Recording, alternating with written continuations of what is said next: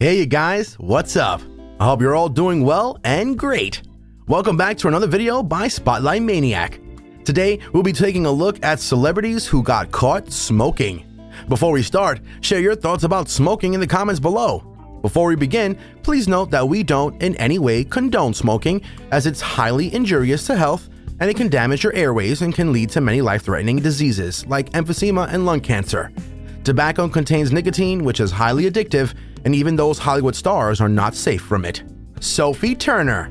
Known most famously for her role in the mega hit show The Game of Thrones, Sophie Turner's love for vaping is no secret, and she posted a picture of herself engaging in the activity while shooting one of the final scenes of Game of Thrones last year. However, the actor has quit smoking ever since she found out she was pregnant. Bella Hadid.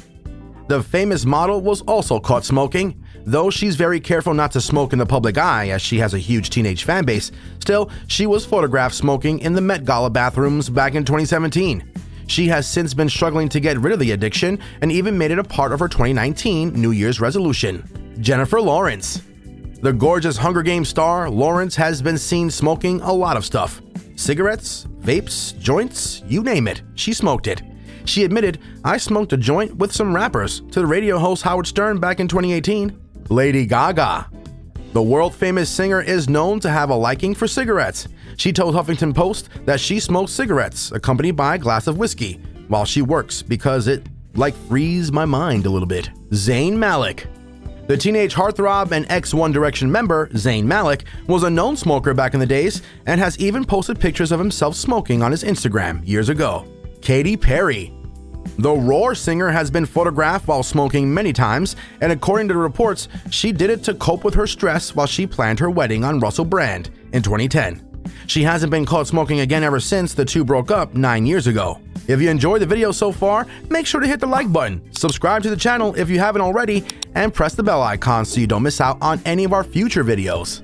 Miley Cyrus the singer has not held back on talking about her love for marijuana and has talked openly about it on shows like Jimmy Kimmel Live. While both her parents are heavy smokers, Miley was revealed that she has quit smoking and is sober now. Matt Damon. The Good Will Hunting star doesn't look like someone who would smoke, but he doesn't mind taking an occasional puff, even though he got rid of the habit after seeing a hypnotist. In an interview with Parade magazine of hypnotism, Damon told, he taught me that the reason you finally quit is because you look at what cigarettes do to you. Once you realize the consequences, it's no longer an option for you to smoke. I think that applies to any addiction though. Sienna Miller.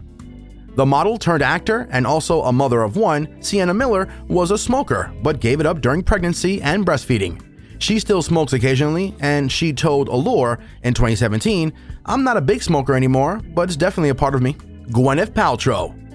Featured in the Marvel Cinematic Universe movies as Pepper Potts, Paltrow has admitted to smoking a cigarette once per week. It is her guilty pleasure, which she described as being my one light American spirit that I smoke once a week on Saturday night. Michael Fassbender.